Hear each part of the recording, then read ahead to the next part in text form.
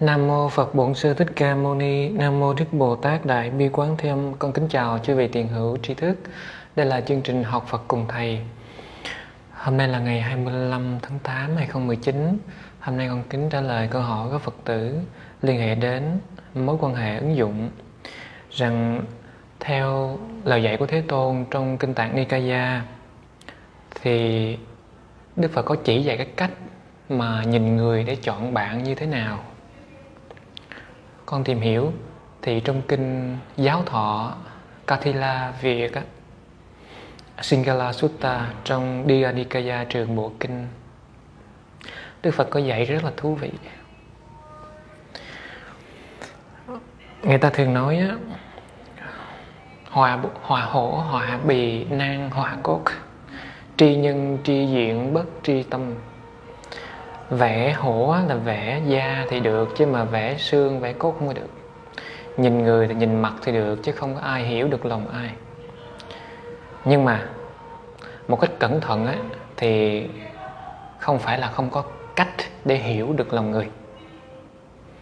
Và đây là lời của Phật dạy nè, để chọn bạn mà chơi. Bởi vì ờ, chơi với bạn giống như là đi dưới mưa mưa lâu và thấm đất mình xấu nhưng ở với người tốt á, họ sẽ chuyển hóa mình.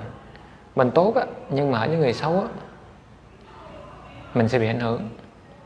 Ở với cá tanh mùi cá. Ở với hoa trước sau giờ cũng thơm lây mùi hoa. Nhưng mà để chọn được bạn á, không phải là điều dễ dàng. Cho nên đây là lời Phật dạy chúng ta thử cùng chiêm nghiệm nhé. Thế nào là một người bạn ờ, tốt cần nên cần nên thân cận? Cái tâm hồn của con người á, không ai thấy được. Nhưng mà để ý kỹ cái lời nói của họ, mình sẽ hiểu được cái độ sâu tâm hồn của họ. Cái thái độ sống con người á, sống lâu mới biết được lòng ai thế nào. Nhưng mà không cần sống lâu, chỉ cần nhìn cái hành động của họ là biết được cái thái độ sống của họ. Bây giờ họ có thể che giấu ở trong tâm họ, nhưng khi họ nói ra ngoài là mình sẽ hiểu được cái chiều sâu tâm hồn sẽ biểu hiện qua ngôn ngữ. Cho nên trả lời bốn cái câu hỏi này nếu mà không cho bốn câu hỏi này, nếu mà có cho bốn câu hỏi này, thì người đó là người ta không nên thân cận. Đức phật rất là hay nha quý vị. Thứ nhất, cái miệng của mình có hai câu hỏi. Thứ hai, cái thân của mình có hai câu hỏi. Nhìn một người, chỉ cần nhìn cái miệng của họ và nhìn cái hành động, cái thân của họ làm cái gì á, là biết cái người đó tốt hay xấu. Không phải tốt hay xấu, theo cái nhận định riêng của mình. Nhưng mà mình biết cái người đó có cần để cho mình thân cận theo lời của Phật dạy hay không? Cái miệng có hai cái cái gì? Thứ nhất, người đó có nói giỏi. Chỉ nói giỏi hay không? Nếu mà có, thì đó không phải là biểu hiện của người tốt. Thứ hai là họ có nịnh hót hay không? Nếu có, đó không phải là biểu hiện của người tốt. Thứ ba cái thân có hành động của họ họ có phải là người tham lam ích kỷ không? Nếu có, đó không phải là người tốt, cần thân cận. Thứ tư, phật dạy là họ có phải là người xa xỉ, phung phí hay không? Nếu có, đó không phải là người tốt, cần thân cận.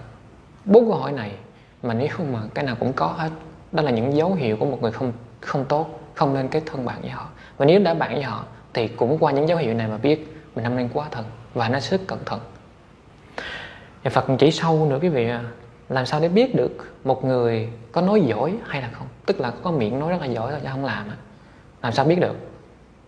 Trả lời bốn câu hỏi này. Phật chỉ mình sâu bốn câu hỏi này cho một người chỉ có cái miệng nói giỏi.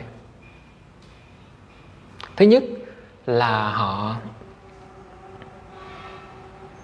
biểu lộ cái thân tình với những cái toàn là chuyện quá khứ những chuyện qua rồi, họ ve vuốt, họ ngọt ngào, họ ai vua thứ hai, họ biểu lộ thân tình của những chuyện tương lai, hư hảo. Thứ ba là họ lấy lòng mua chuộc tình cảm bằng những cái lời sau ngữ. Thứ tư, khi có việc cần làm, cần nhờ, họ thể hiện cái cái việc mất trách nhiệm hoặc là không có năng lực chạy trốn. Người mà chỉ có cái miệng giỏi sẽ biểu hiện qua bốn cái yếu tố đó, bốn cái khía cạnh đó, nhìn là biết. Rồi làm thế nào để biết được một người họ có nịnh hót hay không? Phật cũng chỉ luôn, trả lời bốn câu hỏi này. Nếu có là người đó là thuộc dạng nịnh hót. Thứ nhất, họ đồng ý với việc, với cái việc xấu, việc sai, việc bất thiện hai là họ không đồng ý với việc tốt, việc đúng, việc hay. Thứ ba là phía trước thì tán thán. Thứ tư, phía sau thì chỉ trích. Đó là lời phật dạy nha, không phải lời con nói. Phật rất là tuyệt vời, chỉ rất là kỹ luôn á. Mà người như vậy đó là người chỉ biết định hót. Và làm sao mình biết được một người tham lam ích kỷ hay không? Trả lời bốn câu hỏi này thứ nhất là người đó có đụng vật vật người gì cũng lấy gì cho mình hay không? Nếu có, đúng là biểu hiện của người ích kỷ tham lam à. đụng cái gì, cái người hay cái vật gì họ cũng mang về cho họ. Thứ hai, cho nhiều hay là nhận nhiều? Nếu họ cho nhiều, nếu họ nhận nhiều, họ lấy nhiều thuộc dạng ích kỷ. Thứ ba, khi mà họ làm việc, họ hành động á, thì vì hai động cơ. Một, họ sợ hãi mà họ làm hai, họ làm rất nhiệt tình, nhưng mà bởi vì lợi ích riêng tư của họ. Phật chỉ rất là sâu sắc. Trên chịu khó mà nhìn người là không chạy vào đâu hết. Không cần phải thấy tâm người ta.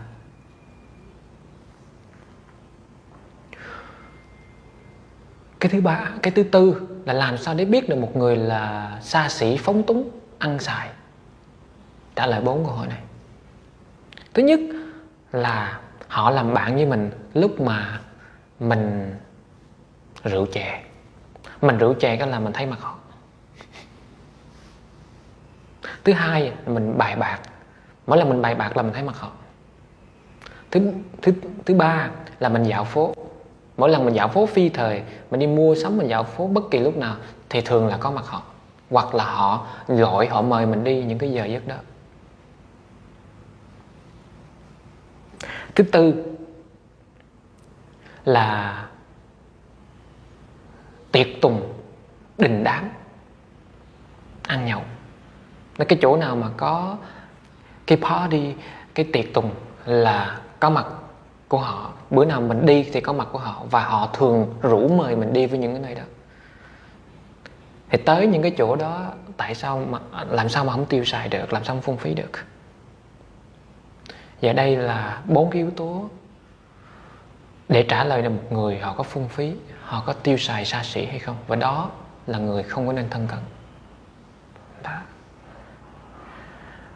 Bốn câu hỏi cho, mà trong mỗi cái câu hỏi đó có bốn câu hỏi khác nữa, là 16 câu hỏi. Thì ta nhìn người qua 16 câu hỏi đó, ta sẽ thấy được họ có phải là người xứng đáng cho ta thân cận hay là không.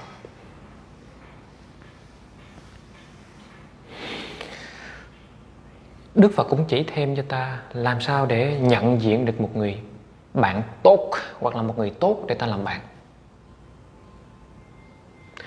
Thứ nhất, coi à, là Đức Phật cũng chỉ từ trên đây xuống nha. Thì cái miệng, con tim, tâm lòng và cái hành động qua cái thân. Thì nhìn cái miệng tức là cái ngôn ngữ của họ họ có nói cái lời lợi ích hay không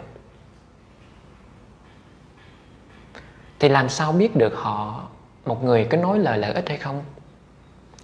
Trả lời bốn câu hỏi này nè. Thứ nhất, họ có khuyến tấn mình làm việc tốt không? Thứ hai, họ có ngăn cản mình làm việc xấu không? Thứ ba, họ có chỉ dạy cho mình những cái điều mà trước đó mình chưa biết không? Và thứ tư, họ có giúp mình cái phương pháp mà sinh thiên không? Tức là con đường tâm linh tu hành thăng tiến đi lên á và ít nhất là chư thiên. À, nếu mà mình gần một người mà ngôn ngữ của họ nói ra trong bốn cái phạm trù đó chắc chắn là cái ngôn ngữ của người đó là ngôn ngữ lợi ích. Và đó là một người một trong bốn cái biểu hiện tốt của một người bạn tốt. Thử ngồi xuống nói chuyện với người bạn của mình họ nói toàn chuyện đời không á thì người bạn đó không hơn mình về giới định tuệ. Mà không hơn mình về giới định tuệ không cần. Không hơn mình về cái nhận thức ở trong cái miệng cái tâm của họ thôi là cái ngôn ngữ họ nói ra mình biết liền. Thứ hai là cái con tim, có thứ người đó có thương mình không? Nếu người đó thương mình, thì đó là người bạn tốt. Làm sao mình biết được một người có thương mình hay không? Phật chỉ rất là tuyệt vời. Khi mình buồn, trả lời bốn câu hỏi. Khi mình buồn, họ không có vui. Tức là khi mình gặp hoạn nạn là tự động họ buồn theo à. và khi mình vui, họ tùy hỷ. Và khi ai nói xấu mình, họ ngăn cản. Khi ai nói tốt mình, họ khuyến khích. Tuyệt vời đã là bạn rồi, thì suốt đời là bạn. Họ sẽ tôn trọng người đó và không cho người khác nói xấu về người bạn mình. Và khi bạn mình buồn, mình cũng buồn. Khi bạn mình vui, mình cũng tùy hỷ. Đúng là bạn thật sự. Đó là người bạn có con tim thương mình. Và tiếp, người bạn có tấm lòng chung thủy với mình. Làm sao mình biết một người chung thủy với mình hay không? Làm sao biết? Trả lời bốn câu hỏi nữa. Bốn câu gì? Thứ nhất, họ không có giữ bí mật riêng của họ cho mình. Họ kể bí mật của họ cho mình nghe.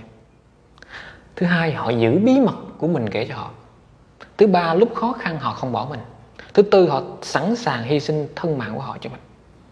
Đó là người thủy chung, dù là tình bạn hay tình vợ chồng hay yêu đương.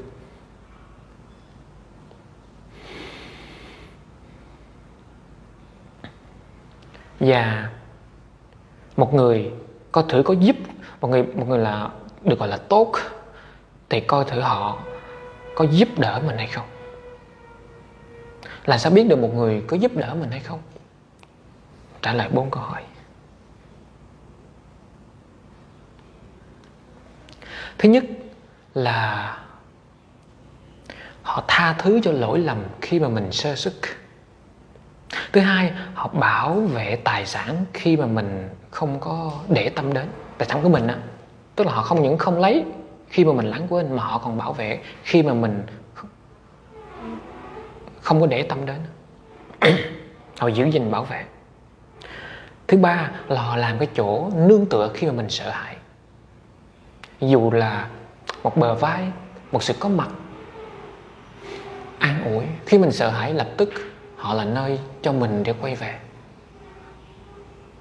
Và thứ tư khi mà mình có việc nhưng mà mình cần giúp ấy, thì họ sẽ giúp mình gấp hai lần cái thứ mà mình cần. Tức là không phải mình thất nghiệp mà mình xin mà họ cho liền. Họ có trí tuệ họ cho mình cái lúc mà mình đã có việc nhưng mà mình cần cái sự giúp đỡ họ sẽ giúp gấp hai lần. Rất tuyệt vời như vậy. Đây là đây là những lời dạy tuyệt vời của Phật ở trong kinh giáo thọ ca việt con chốt lại rằng có cần thiết phải có một người trên con đường mình đi hay không? Kính thưa quý vị, phật dạy à có một người hỏi đức thế tôn, đi đường của thế tôn tự do con cũng thích, nhưng con ở một mình cô đơn buồn tuổi, con cũng muốn một người đi với con con cũng thích. Vậy bây giờ con muốn cả hai được không? Vừa đi trên con đường tự do như thế tôn, nhưng dường có một người con thương, con đi với họ. Đức thế tôn nói, thà đi một mình tốt hơn đi với kẻ ngu. Làm sao biết đó kẻ ngu? Thì ai mà đi với ông là hầu hết ngu.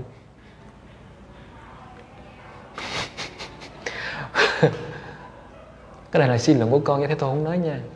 Nhưng mà có nghĩa là họ mà họ rảnh, họ mà họ hạnh phúc, thì họ tìm đến mình chi? Tức là họ cũng cần mình như là mình cần họ. Mà một người mà cần mình, tức là họ đang thiếu thốn.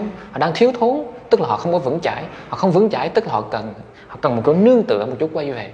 Tức là họ chưa có thực sự sáng suốt. Một người mà cần một cái gì đó bên ngoài để nương tựa, tức là họ chưa có tự thân vững chãi.